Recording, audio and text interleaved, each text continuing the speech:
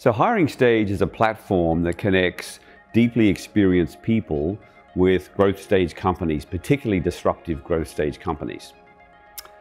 I came across this idea because I saw two things happening.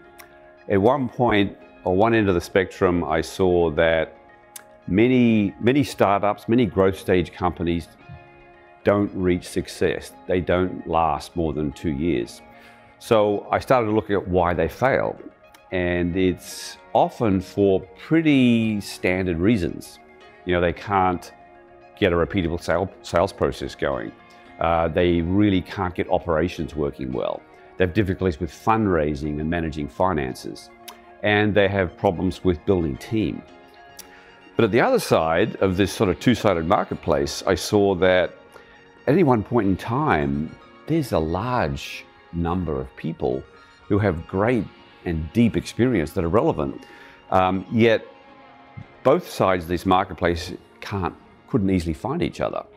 So I decided that really we have a, a two-sided marketplace here which is just not well served. Hence the idea of a platform to connect them and create a network effect to get them to connect. One of the changes I want to see is to democratize the hiring process. Well, I still hear stories every day of people feeling that their, their unique value is not being appreciated by the companies. This AI war that I see there, for me, doesn't look like a benefit, it looks like a barrier. And that's what I want to, I want to remove.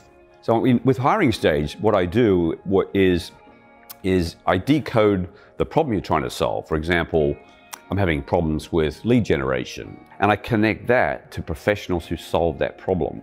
So what we're designing is a unique way to ask these questions. And uh, we do it manually right now, and we're designing our algorithms to, to do this in an automated way. Yeah, the most basic question to ask is, write a statement of what problem you're trying to solve by this hire. And with natural language programming, you can extract the keywords out of that. So instead of trying to match head of sales in a job description to head of sales in a resume, instead I match what's the problem you're solving? Lead generation, closing. And I match that to people who solve those problems. They, I, you know, I solve lead generation problems. I know how to close. And, I'm finding that this is a much, much better way to find the right candidate for the role. The other thing that I'll be doing is when you search for um, this problem that you, you have, so a hiring manager is coming to the platform with, here's a problem I have.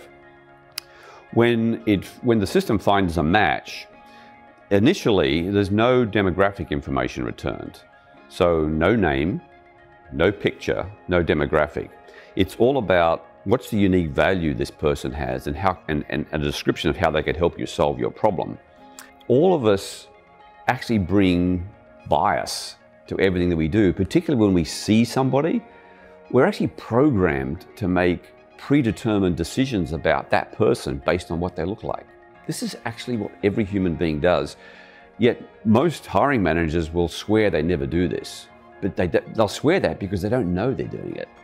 So my idea is to say, at least in that first encounter with the professional on the platform, what you see is what problems they solve, what are they passionate about, some other details. So you more focus on that.